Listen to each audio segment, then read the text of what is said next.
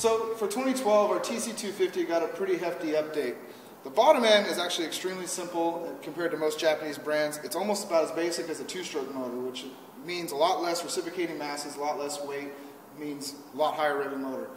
Um, one of the things we updated for 2012 was we got a new piston with increased oiling on the front and back of the skirts, a domed piston to increase compression, and then we also went to a new head design. The guys over in Italy really took their time and got some really good information from some of their F1 engineers, and they went with bigger valves and really lightened up the valve train to really increase the power and performance of our 250F.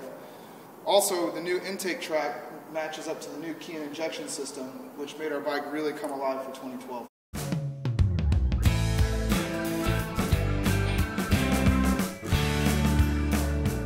So, some of the absolute basics of a bike, you know, you got you know, your, your crankshaft and your piston drives everything down here.